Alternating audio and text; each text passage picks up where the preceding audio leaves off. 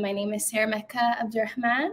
Um, I consider myself an emerging Somali Indian multidisciplinary artist based in Ottawa and Montreal. I'd say my practice involves both mixed media painting and video art, and through the reworking of familial family photo albums, my work addresses my cultural history using my art practice kind of as a means to reconnect um, with my heritage.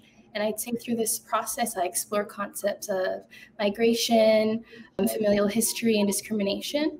I received a BFA from Concordia in 2020 um, in studio arts. I also did some murals at the Vanier Community Service Center and Lansdowne and the Glebe Park.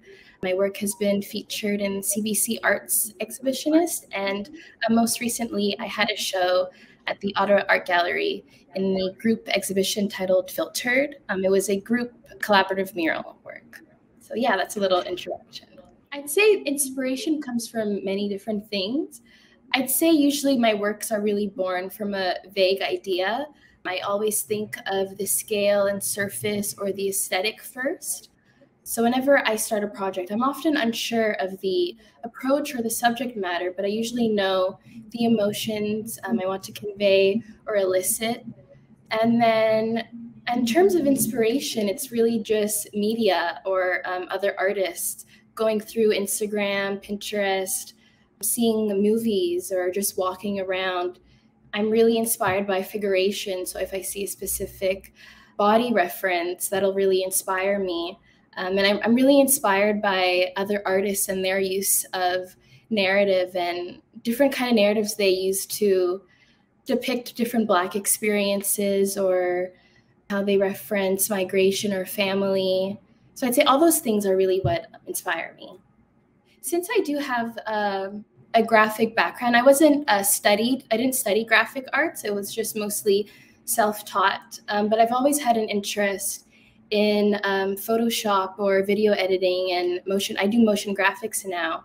But I think it really started while I was in university. Every year, I was always experimenting and trying out um, new things. And one of our assignments was to do a, a collage with our oil paint. And at the time, I was really kind of confused how to approach it because we had to use paper, but also oil. And um, oil and paper doesn't, in terms of the longevity of your painting, it won't always mix so well. So I had the idea of going on to Photoshop and planning out my whole painting on my computer. So then I knew exactly where my paper would go and where my oil paint would go so it wouldn't touch. So I would print the whole composition out in full life size and then just start gluing it on uh, my canvas. And then since then, after doing that project, I just loved that process and I've been doing it ever since. And what I loved is that my professors at university, they really challenged us to try new ideas and they really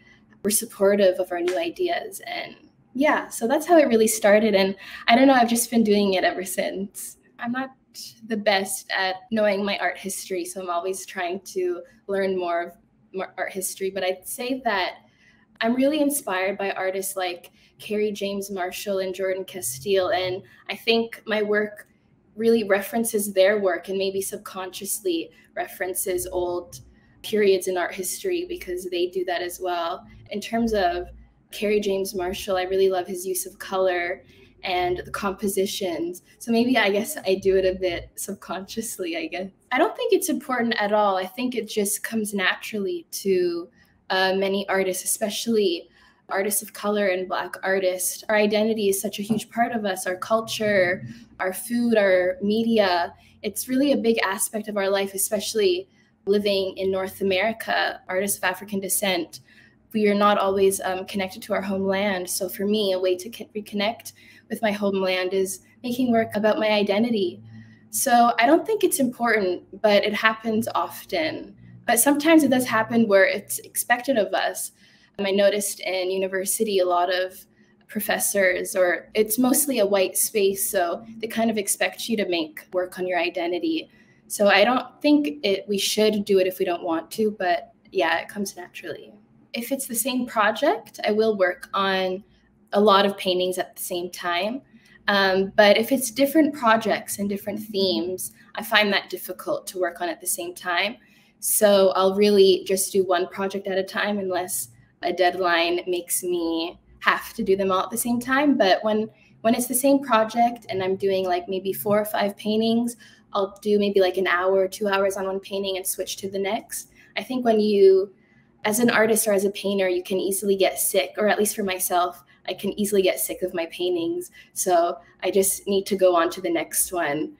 I'm constantly switching and multitasking with my paintings. I'm not sure exactly how I could situate my art in uh, the contemporary art or in terms of Black Canada, but I'd say I think in terms of the Black artists in Canada, there's a growing movement of a lot of emerging artists. So I'd say I'm proud to be amongst those artists that are trying to create visibility in terms of the dialogue of Canadian painting.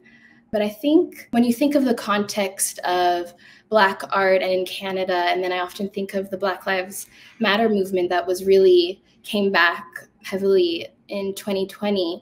So, in terms of that, I always think about, I'm always trying to think about that in my work. And that was really a year of trauma for many of us. So I often think of how to not, I guess, recreate trauma in terms of my own work, since my work is really heavily based on my identity or experiences or discrimination.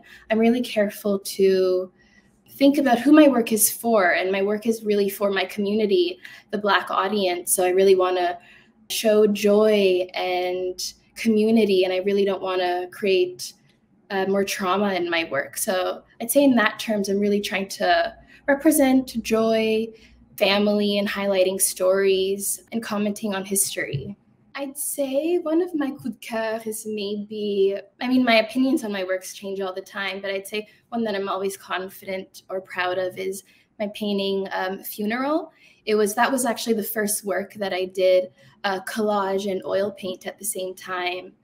And it was really large scale, bright yellow. It was a painting of uh, my family. So it was my portrait of my father when he was a kid, my aunt, my grandfather, and my uncle.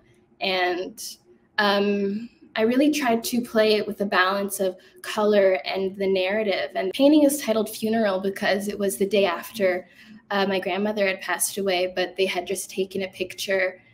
Um, I don't know, it, it, just seemed like such a pure moment, but also sad. But um, they had some of them had smiles on their faces. So I really wanted to play with the balance between the two. And even still today, I did that work um, in 2017, but still today, I, I hear a lot of uh, positive comments on that work.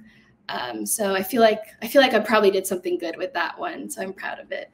I don't have many future projects that I'm working on, but I do have a couple of shows coming out.